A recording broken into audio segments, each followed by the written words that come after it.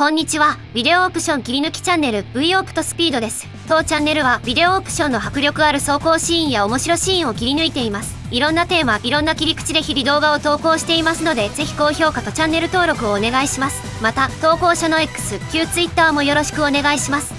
さて今回はマニアックすぎてもはや変態にしかわからない車たちをお送りします。今回出てくる車たち、あなたは一体何台ご存知でしょうか？それでは早速ご覧いただきましょう。どうぞ。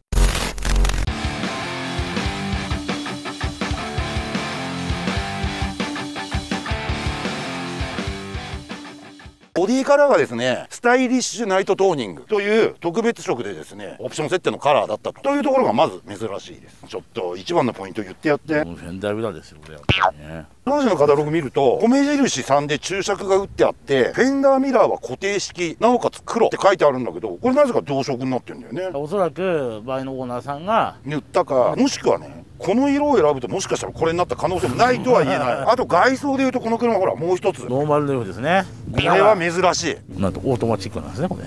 やばいっすよやばいっすよ、うん、後期スーパーチャージャーなのに、はい、ノーマルルーフ、はい、フェンダーミラー極めつけが4速オートマあとはこれ後期型っていうことで後期型のポイントとしては、はい、ハイマウントストップランプが標準でつくようになるわけですね、ね、あとやっぱ俺一番いいのがエンブレムですね。うん。これご存知の方も多いと思いますけど再販で出るんですよ。出るんですけどこの尻尾焼きじゃなくなってるんですよ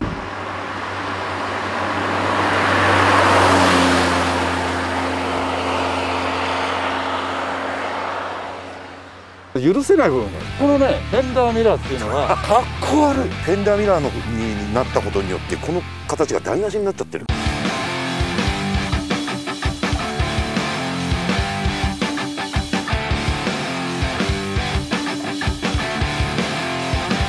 わけわかんないですよ本当ね。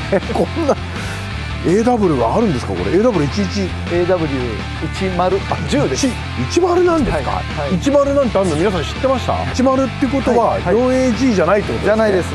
3A ですね。3A3A の MR2 が存在したんですね。いやちょっとびっくりですよ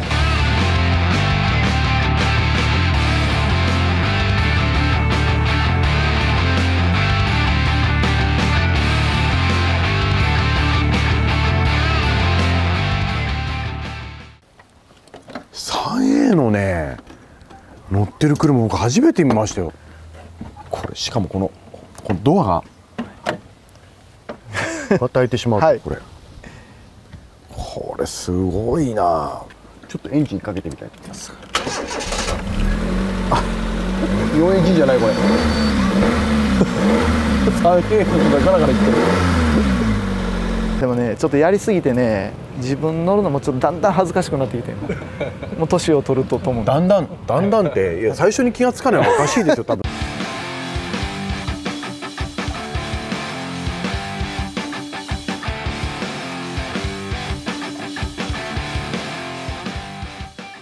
カリーナ ED ですね。当時一番安かったグレードのですね1.8の L というグレードになります。エンジンはですね1.8リッター直4のシングルポイントインジェクション仕様 1SILU かな？というエンジン積んでいて5速マニュアル。カタログモデルとしては本当に一番安いグレードということでですね非常に珍しいと。カリーナというとですね、えー、まあそもそもが FR のモデルで86の兄貴分みたいなね足のいいやつなんていうキャッチフレーズの CM もありましたけれども基本的には FR のスポーツモデルと。それがカリーナ。1985年に出たこのカリーナ ED っていうのはエキサイティングドレッシーっていう頭文字を取っての ED 駆動方式がまず FF になってます。当時のセダンとしては画期的な居住性よりもスタイリングを重視したですねフォルムになってまして前高はですねわずか 1310mm しかないんですね。この車 B ピラーがないんですね。本来ここ B ピラーがつながってると思うんですけれども B ピラーがここまでしかないです。ピラーレスハードトップならではの開放感と爽快感にあふれているベースの元々のカリーナではちょっと味わえないところをカリーナ ED という車はですね今までのまあセダンとはちょっと違う新しいまあ価値観を生み出そうとしてですね作ったトヨタの E 欲作だと思います。車自体車重が軽いのもあって、えー、ハンドリングも割と軽快だと思います。このリア周りどっかで見たことあるなと思ったら GX81 系のクレスタとかマーク2とかチェイサーとかそれに似たようなデザイン雰囲気ありますね。フロント周りなんですけれども8時時代のマーク2その1個前の71にも通じるディテールといいますか。これはですね4気筒なのにインジェクターが1本なんですね。ここに1個しかないと。下げてみます。よいしょ。ああもうこういう風に残るのがね懐かしいですね。ここがないんですね。開口部はですねこれだけあるというねピラー付きの車でも絶対味わえないですね。開放感。まあこのピラーがないということは合成がないということなのでやっぱり開放感はあるんだけれども B ピラーはあった方がいいんじゃないかなというのがこれは僕の個人的な見解なので。105馬力確か16キロ。グロス値で確かそんなもんだったと思うので。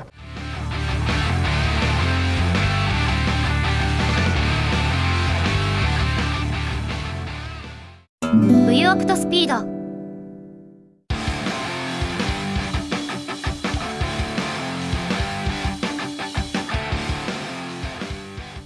CA18i シングルポイントインジェクションの 1800cc シングルカムエンジン。エンジンルーム何がすごいかって本来6発が乗るところに4発が乗ってるもんでラジエーターのシュラウドがでかい。実際どうですかこのエンジン？速くはないですよね。走りの4発シングルカムに走りの5速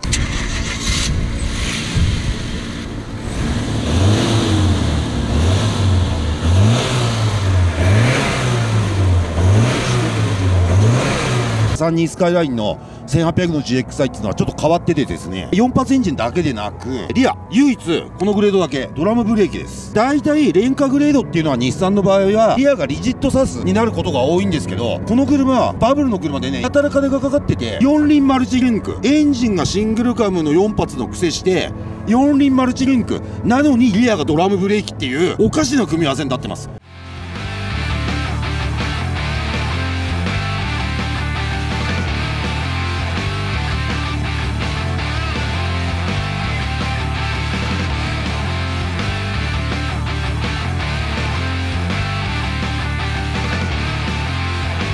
警戒は警戒ですよね。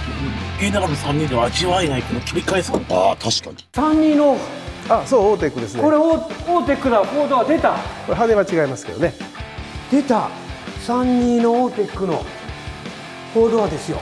これ RB26 乗ってますよそうこれ。NA ですよこれ。ねそう。NA の。こんなのこれ大丈夫ないですよこれも。これ全部で3台ちょっと持ってます。えこれを3台持ってる？そうた田村博作ですね